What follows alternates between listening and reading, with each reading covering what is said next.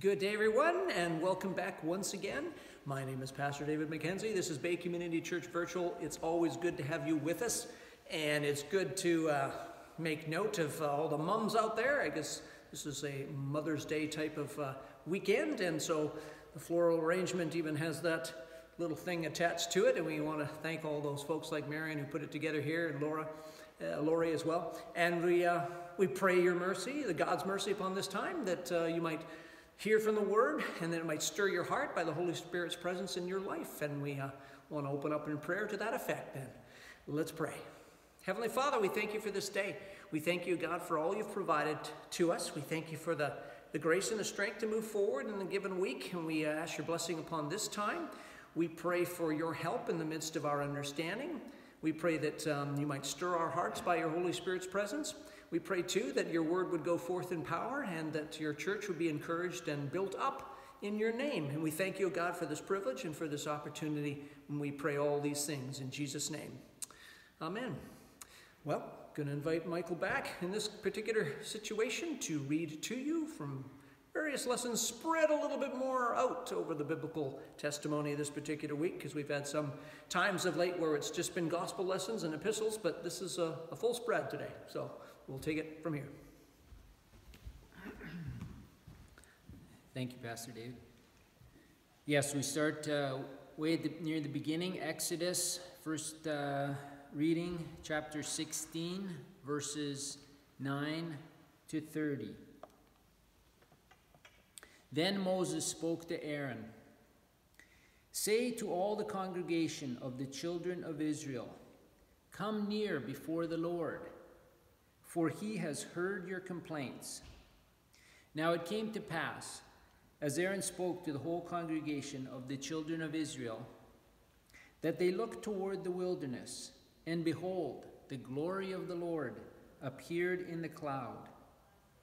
And the Lord spoke to Moses, saying, I have heard the complaints of the children of Israel.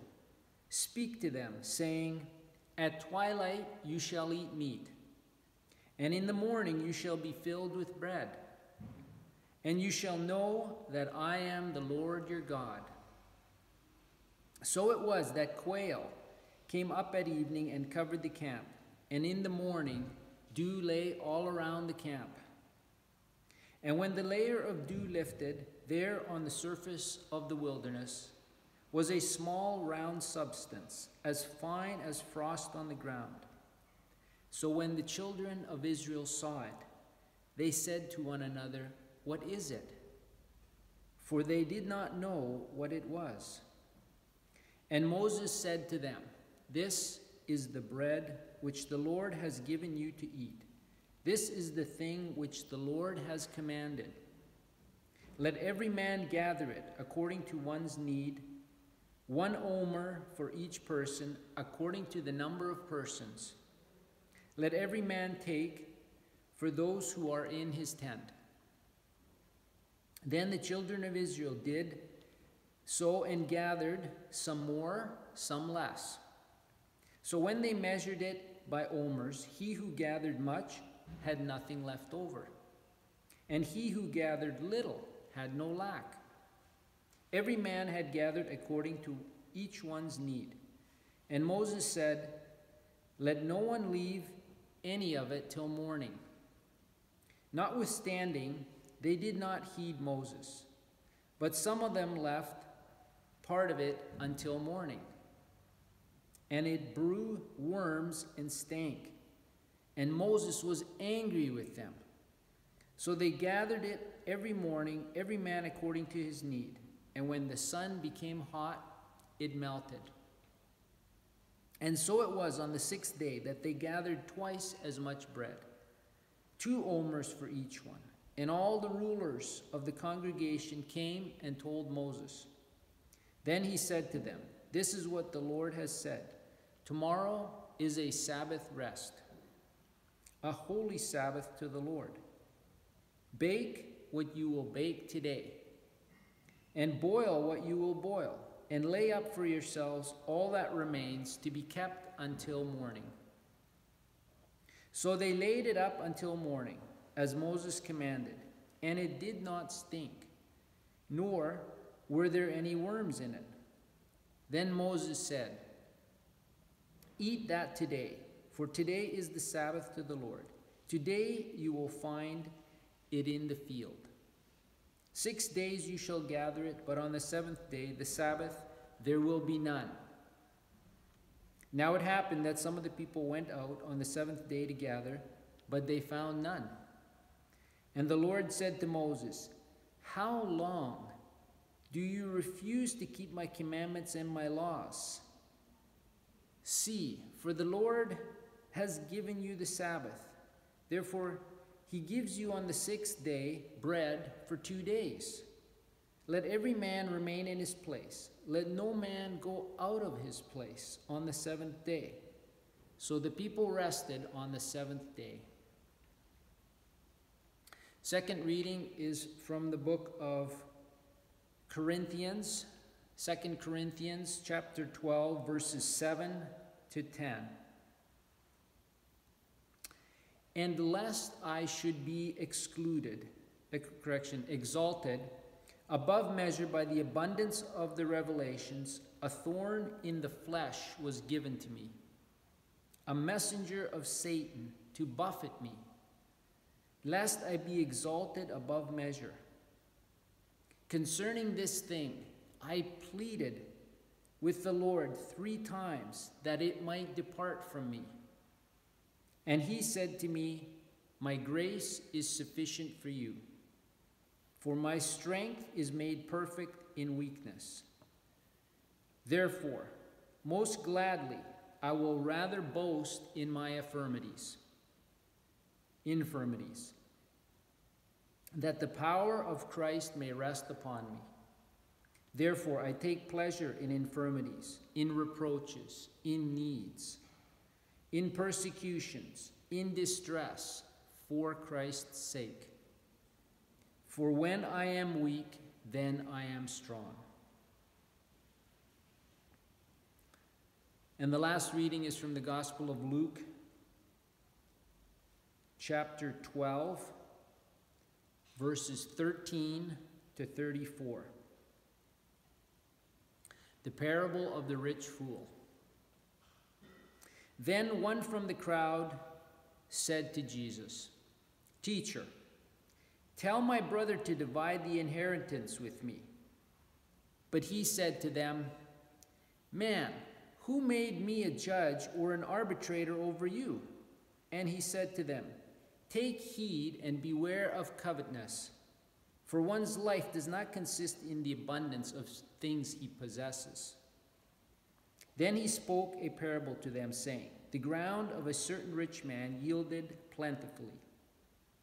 And he thought within himself, saying, What shall I do, since I have no room to store my crops? So he said, I will do this. I will pull down my barns and build greater, and there I will store all my crops and my goods. And I will say to my soul, Soul, you have many goods laid up for many years. Take your ease, eat, drink, and be merry. But God said to him, Fool, this night your soul will be required of you. Then whose will those things be which you have provided? So is he who lays up treasure for himself and is not rich toward God. Then he said to his disciples, Therefore I say to you, do not worry about your life, what you will eat, nor about the body, what you will put on. Life is more than food, and the body is more than clothing. Consider the ravens, for they neither sow nor reap, which have neither storehouse nor barn, and God feeds them. Of how much more value are you than the birds? And which of you? By worrying, can add one cubit to his stature. If you then are not able to do the least, why are you anxious for the rest? Consider the lilies, how they grow. They neither toil nor spin. And yet I say to you, even Solomon, in all his glory, was not arrayed like one of these. If then God so clothes the grass, which today is in the field, and tomorrow is thrown into the oven, how much more will he clothe you, O ye of little faith?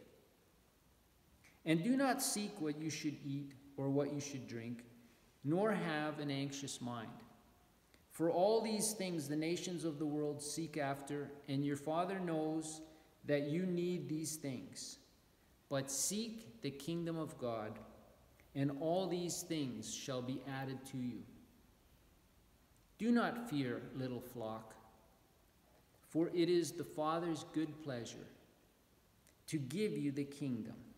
Sell what you have and give alms. Provide yourselves money bags which do not grow old, a treasure in the heavens that does not fail, where no thief approaches nor moth destroys. For where your treasure is, there your heart will be also. Praise be to God for the reading of his word.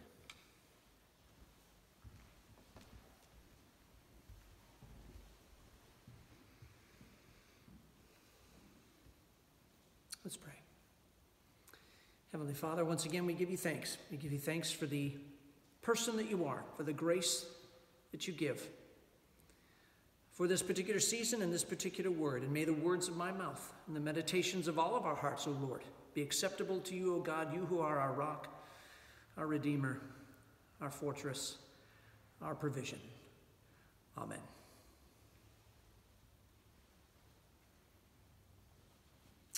Well, once again, glad that you're with us. Glad that you're here. And uh, just want to ask a few questions, as I often do in the beginning of a particular time of interpretation of God's Word.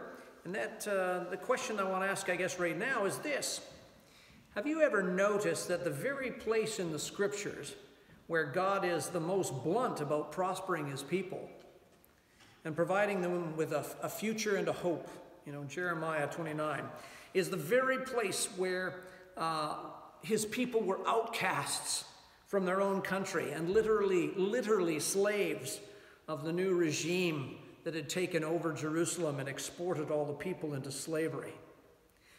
And I mention that for one reason, and that is this God doesn't tend to preen the feathers of the cocky. He tends to comfort those who need the comfort the most.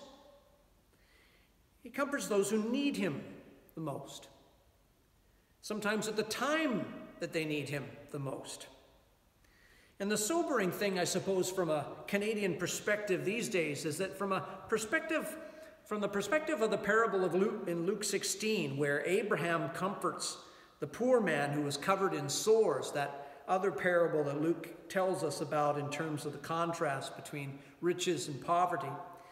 You know, it's um, it is the truth that Abraham is the one who actually takes the poor man to his side. It's the rich man who is left a beggar. It's the rich man who ignored, after all, the same beggar at his gates when he had the opportunity to do something differently.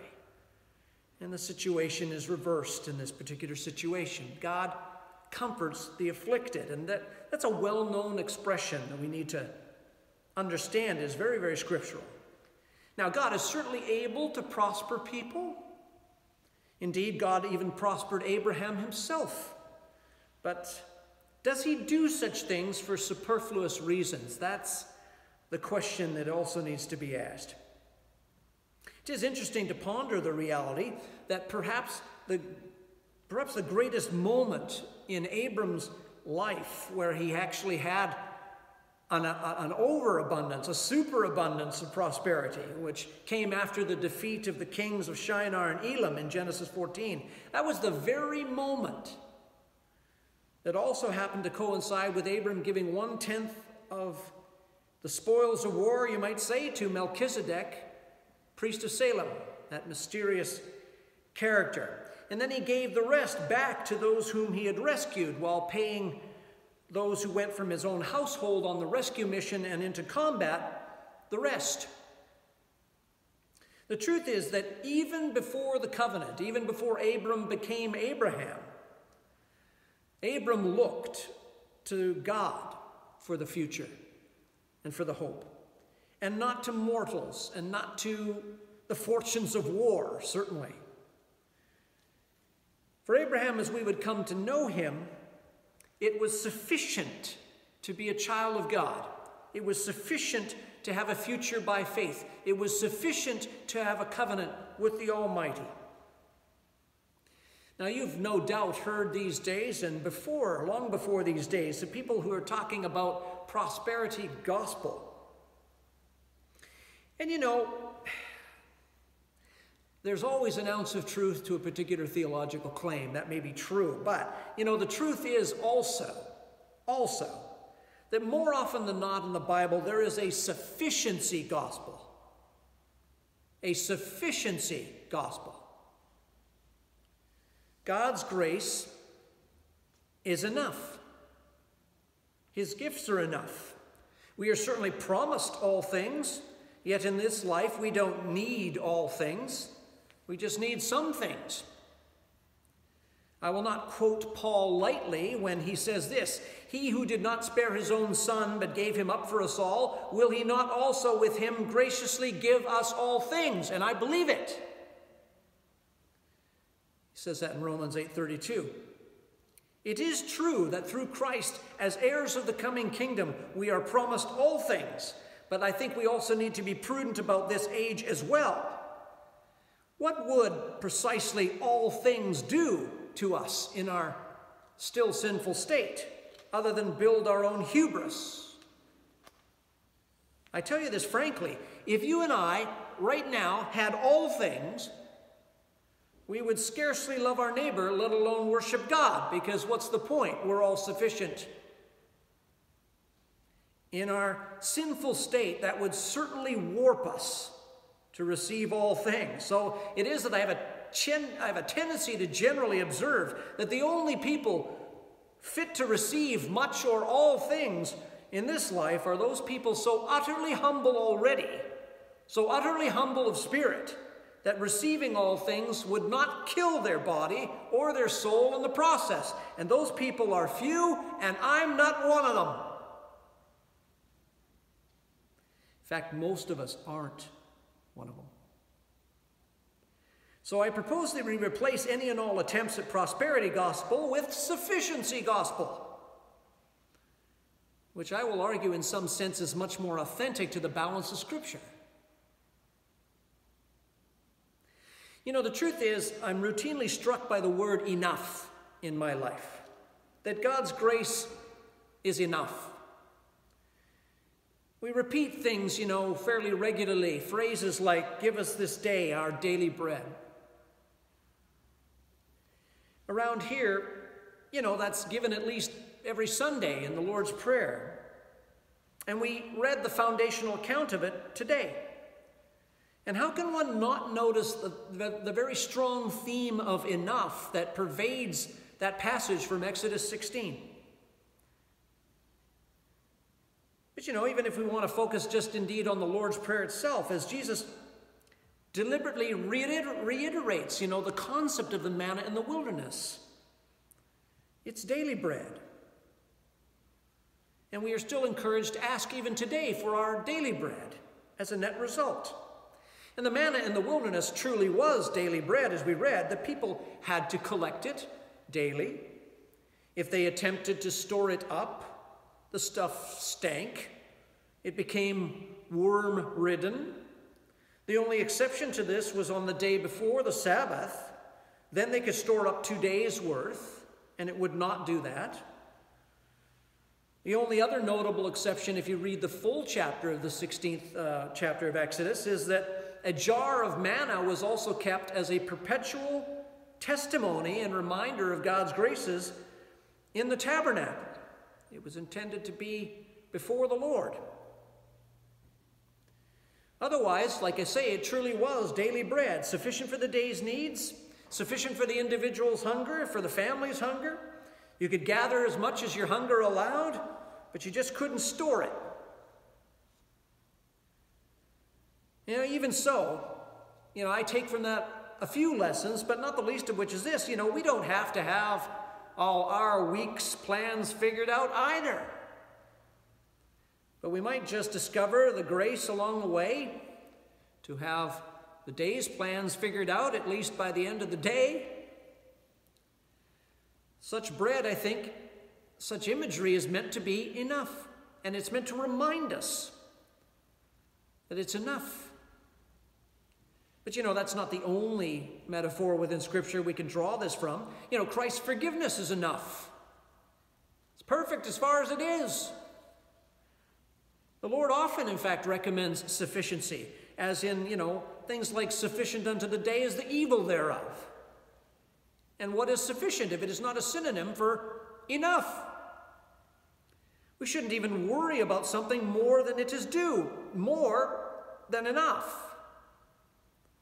When Paul records what the Holy Spirit says to him, My grace is sufficient or enough for you, he is noting the same principle in a sense. Paul didn't like his own weaknesses, the places where his own strength was insufficient. But God, you know, wanted to cover those gaps, wanted to teach in the midst of those gaps with His grace. And so that's precisely the lesson that Paul would have learned. That God's grace was sufficient for him even in his weaknesses, even in his insufficiencies. You know, sometimes it's not about proving how proficient we can be as humans, but rather how sufficient we can be through Christ who strengthens and saves. Even given our stresses and strains and limitations, which God knows all too well. And so Paul had to learn, like we have to learn, to be content in all circumstances, knowing, knowing whose he was, which is critical.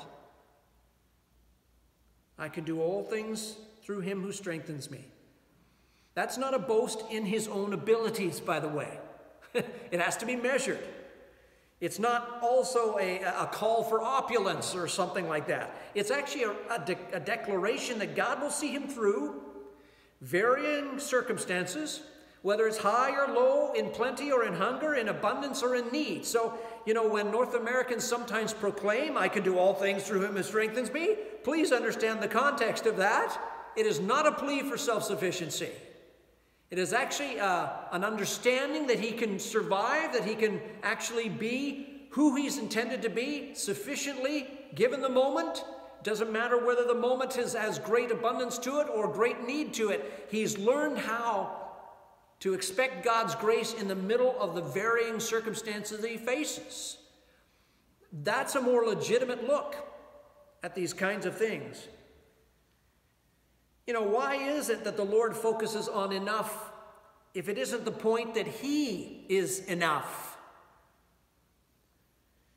You know, Paul writes this in 2 Corinthians 3 such is the confidence that we have through Christ toward God, not that we are sufficient in ourselves to claim anything as coming from us, but our sufficiency is from God, who has made us competent to be ministers of a new covenant, not of the letter, but of the Spirit. Maybe some of us won't get to be superstars. That's okay. That's kind of a turbo abundance, if you want to say it. But I like the fact that God has called us to be competent. It's enough. Our competence as ministers of Christ comes from Christ. What God has given is sufficient for the task of ministry. And I'm not just looking at that in the formal sense, but also in all the other informal senses. What we've been given is for our competence, and Christ's gift is sufficient. God apparently gives us enough to underscore His own sufficiency for supplying our own needs. And you know, we need to be candid, that's often the, the bottom line that God's grace is enough.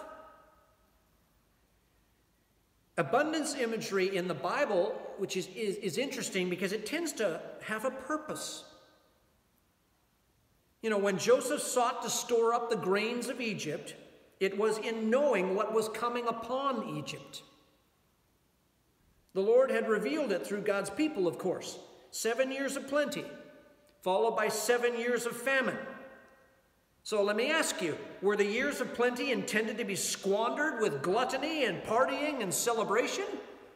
No. They were intended to be soberly meted out and administered for the lean years that were ahead. In other words, real abundance can and does happen, but it may well be for the divine purpose that God intends. Might just be meant for salvation in an earthly sense, if you take a look at that passage from Genesis. It might be meant for someone else's good. And I would encourage everyone who's watching to be aware of these things. Sometimes abundances happen. There might be a good question to ask Lord, what is intended for this abundance? If God prospers your work, it is important for the believer to ask, For what larger purpose, O God? As Paul writes, godliness is not a means of gain. He goes on to write these things instead from the sixth chapter of Second Timothy. Now, there is great gain in godliness with contentment. For we brought nothing into the world, and we cannot take anything out of the world. But if we have food and clothing, with these we will be content. But those who desire to be rich fall into temptation, into a snare, into many senseless and harmful desires that plunge people into ruin and destruction. For the love of money is a root of all kinds of evil. Wealth is not an end unto itself. As uncomfortable as it might be for human beings to understand this, God asks his people to be content with enough, to let go of our natural inclination to hoard wealth in order to control our life's outcome. He asks us to trust him for the next day's gifts. He asks us to believe in daily bread. You know, humans, let's be honest, humans always want more insulation, of course. Something to act as a bulwark against possible crisis or possible limitation, because we often feel out of control. The world is difficult. The world comes at us with different things that happen, surprises and crises. But you know, God wants us to understand that He is the bulwark against the unknown, against the inevitability of crisis against the possibility of uncertainty, almost the inevitability of uncertainty. And you know, the ancient Israel, Israelites were compelled to come to terms with their own limitations in the desert. You know, let's be honest and frank. Wandering around Sinai for 40 years is not possible for tens of thousands of people. It's a pretty hostile climate. There are limited resources, all incredibly difficult to sustain. There are things like water and, of course, food.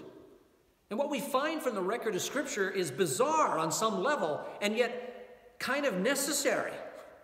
You know, it's necessary that their shoes and their clothing didn't wear out during this time because there wasn't a lot of means to replace them. And yet we find that the details even point in that direction too. Such wandering in the desert is so unlikely that it can only be accomplished by the work of God.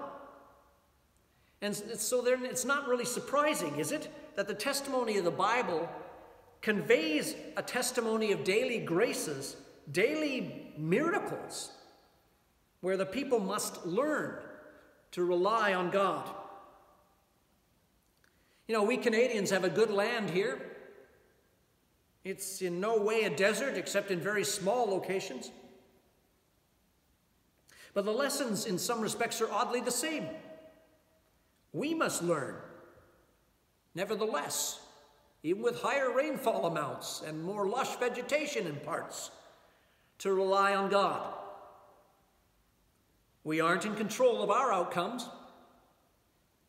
We cannot predict the stresses and strains that are coming our way. As regards our own finances, we may never feel entirely at ease or comfortable. But the question becomes have we shockingly made it thus far?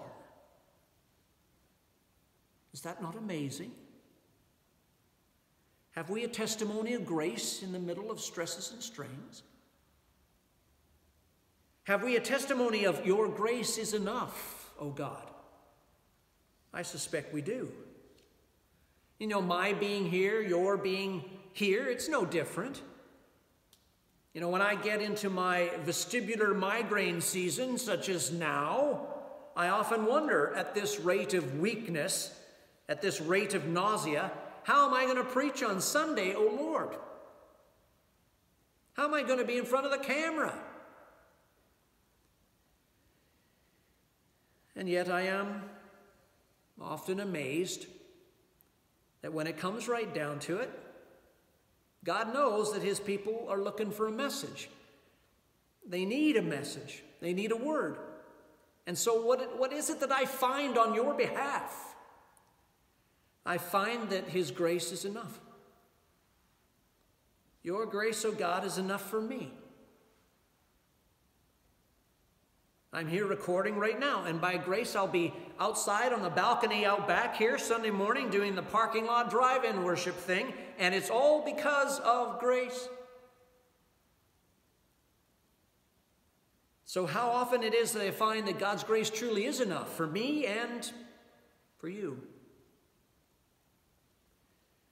You know, when I look over my own family's finances, when you look over yours, how often do you find that God's grace is sufficient? Sometimes you may reach a point where you kind of go, How are we going to do this?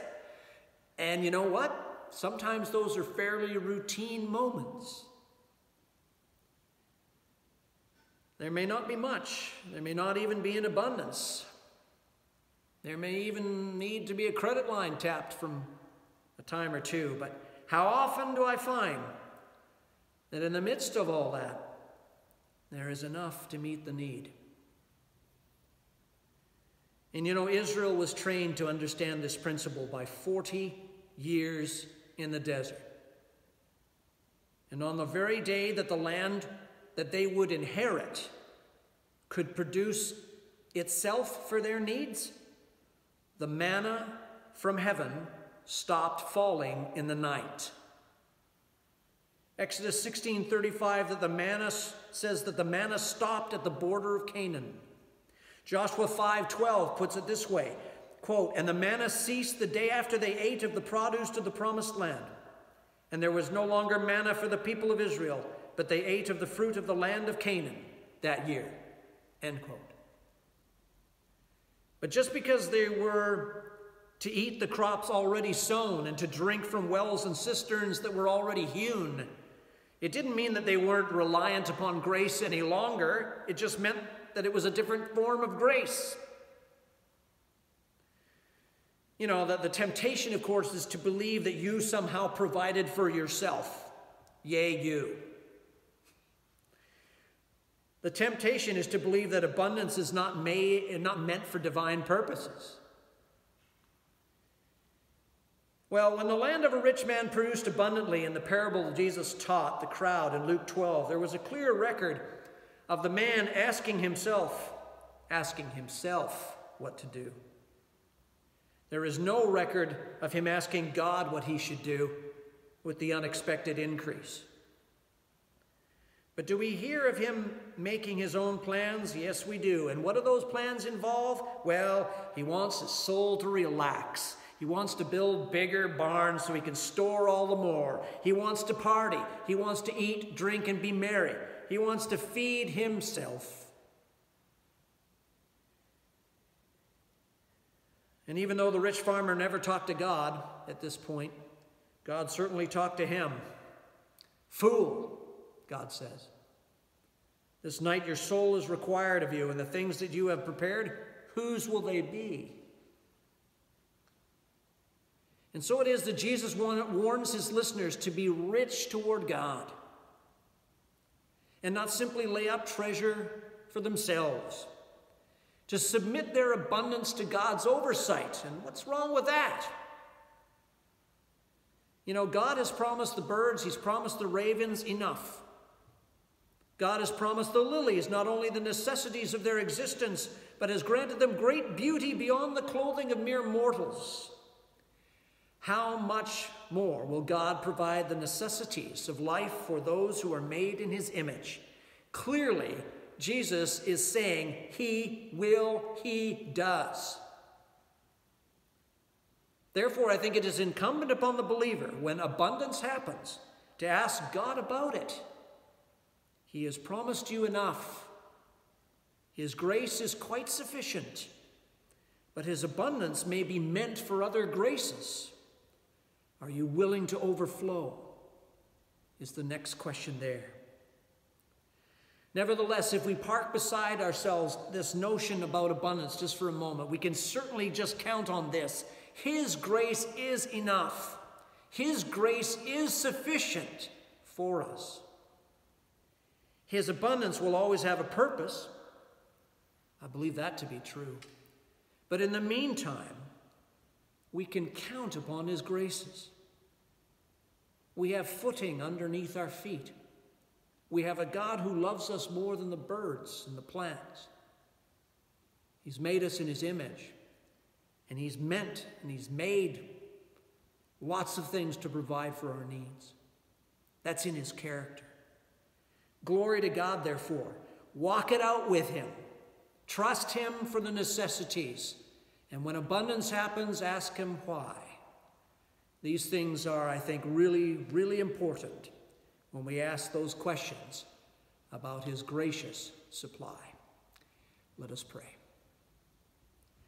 Heavenly Father, we thank you, God, for who you are, for the character you are, for the fact that you are preparing all things for us as heirs. But until that time, O oh Lord, your grace is sufficient for us.